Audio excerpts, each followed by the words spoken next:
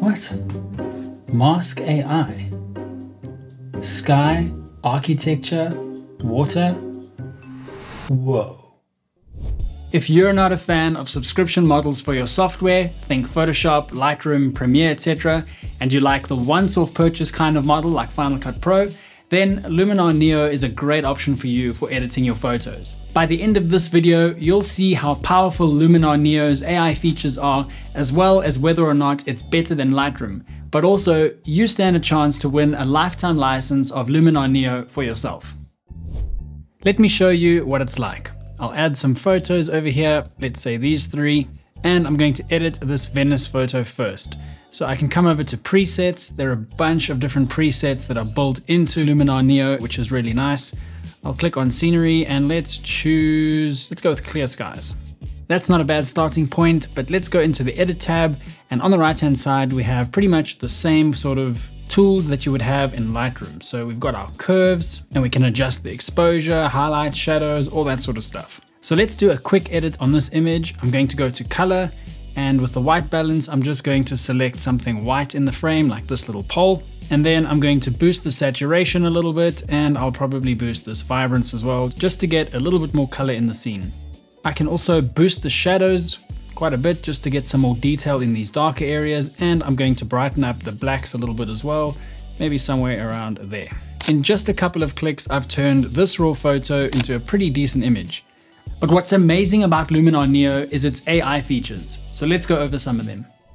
If you look closely here in the sky, we've got a dust spot here from a dirty lens, and we've got another one over here, over there, and we've got a bigger one over here. Luminar Neo uses AI to automatically erase them. So we'll go to the erase section and we'll just go remove dust spots. It takes a little while to analyze and then it will remove those spots altogether. You can also remove power lines if you have power lines in your shot. So I'll use this little eye here to show you the before and after, and you can see that those three of the four dust spots have disappeared. This little one over here doesn't quite look like a dust spot, so what I'll do is I'll just use this erase tool, draw over that dust spot, and then I'll click erase. Just like that, I've removed all the dust spots from this image. Let's have a look at another AI feature, which is structure. Now, structure allows you to bring out detail or texture in an image, and we can use Luminar Neo's structure AI feature to automatically create masks for us. So let's go to masking and hit mask AI.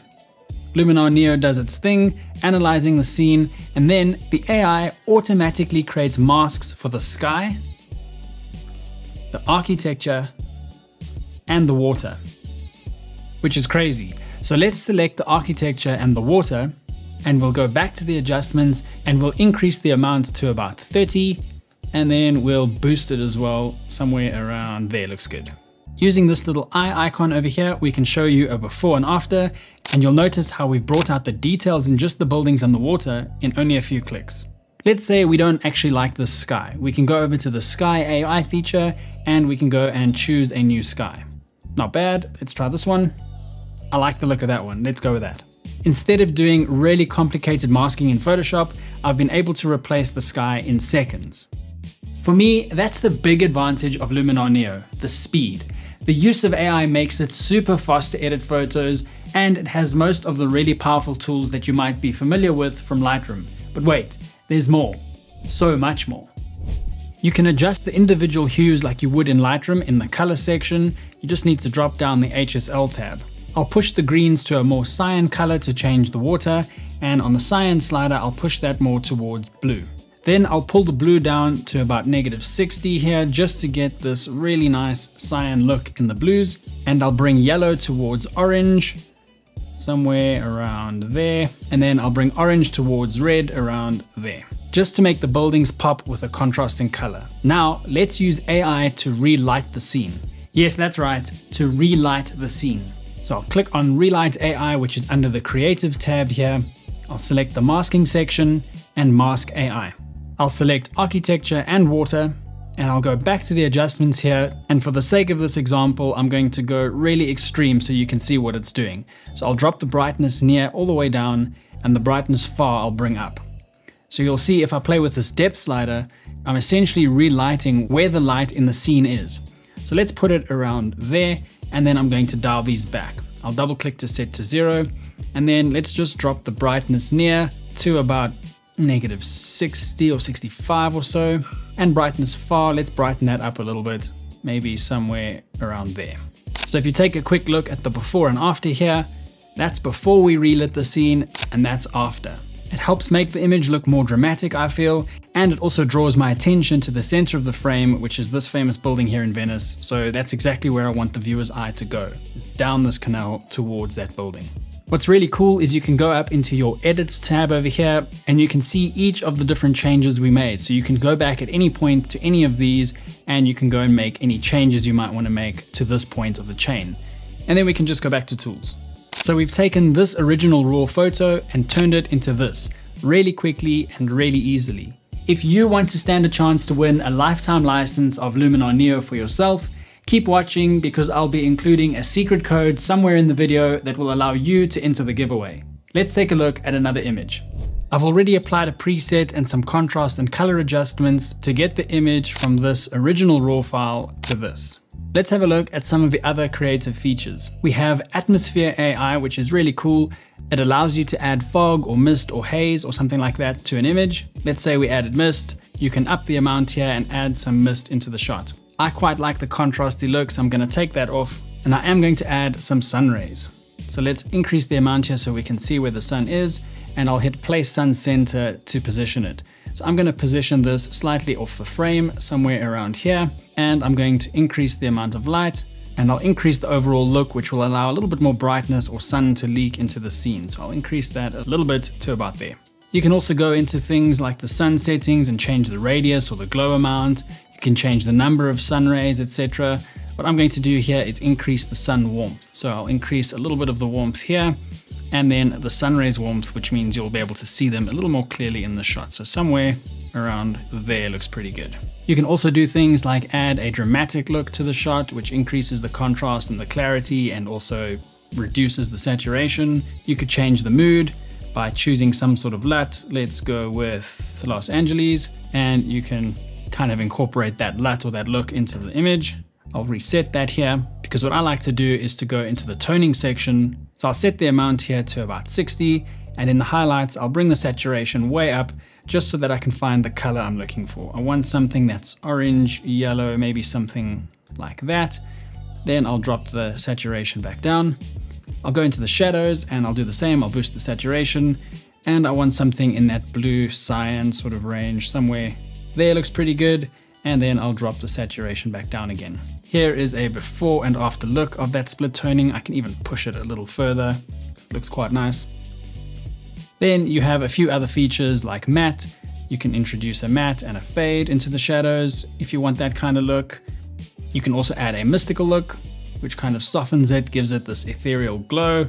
There is also a glow setting, which creates a sort of soft focus, brightening of the highlights kind of look. And then there's also a film grain look, so you can add some film grain to the shot. Okay, that's way too much. So film grain's your thing, you also have that option here in Luminar Neo. But if I go ahead and zoom into this image, you can see that there's quite a bit of noise. So I'm going to go into the denoise section and I'm just going to bump up this denoiser somewhere around there. Should look pretty good. I want to make sure I have enough sharpness and enough detail. So I'll just go to the details and here you have small, medium and large details, which will affect the sharpness in different areas of your image. Or you could do an overall sharpening, which is what I'm going to do here. And I'll bump this up to about 35. I'll zoom back out. And lastly, I'm going to go ahead and crop this image. I can hit horizon alignment to straighten the image out. And for ratio, I'll go ahead and select the 4x5, which is great for Instagram, and I'll hit apply. I can go ahead and right click and export this image. I could use the shortcut or I could go ahead to file, export and export this and post it on the gram. The great thing is you can also copy and paste adjustments from one image to another by just selecting an image. Let's select this Venice image, hitting Command C, selecting another image and hitting Command V to paste them. So I'll open up this photo, let's go to edit and I'll go over to my edits over here and I'm going to delete my relight adjustment that I've made here. That's what's creating this weird little mask in the sky. So I'll remove that and delete it. And I also don't want to replace the sky here. I want to keep the sky that I had before. So I'll go ahead and delete that and I'll head back to tools. So I'll head over into develop and I'm going to adjust the white balance. Let's hide those. And I'm just going to warm this image up a little bit. Something like that should do. And on my curves, I just want to brighten up some of these shadows, some of these darker areas here, and we'll bring this down to protect the highlights. The crop tool that we've already had a look at also has a cool AI feature. I'll just hit horizon alignment here to straighten up the horizon. And then I'm going to hit this composition AI button, and that's going to pick what it thinks is the best composition for this image, which I agree with, and I'll hit apply. You can also install Luminar Neo as a plugin for Photoshop and Lightroom, which allows you to round trip from Lightroom to Luminar Neo to do some sky replacement, for example, and then you can go back to Lightroom. Now, if you're into portrait photography, there are a bunch of different features here like portrait bokeh, which allows you to create more depth of field. You can adjust things like the face, you can add light to the face, and you can affect the eyes and the mouth individually. You can also go ahead and smooth the skin, remove some shine, and you can go ahead and adjust the shape of the body. And all of these features use AI. There is so much good stuff going on inside Luminar Neo, and I can't show you everything in one video, but hopefully I've been able to give you a good idea of how powerful it is and to show you that it really is a solid alternative to Lightroom for a lot of people. But the question is, is it for you? Well, if keywords and metadata and organizing your images in a very specific way is crucial to you, then I think Lightroom's cataloging and organizing might be a bit better, so Lightroom might still be the best option for you. But if it's ease of use, speed, and budget that concerns you the most, then Luminar Neo is a no-brainer in my opinion. You can get the full version with a lifetime license for a once-off payment of only $90 at the time of making this video. There is also the option to subscribe if you want to always have access to future updates of Luminar Neo. And at $67 per year, it's far cheaper than a Lightroom and or Photoshop subscription. Don't forget to click on the link down below to enter the giveaway. And remember, you need the secret giveaway code that I showed you earlier in order to enter. Or check the link out below to purchase Luminar Neo if you missed the giveaway. Thanks for watching guys, see you in the next one.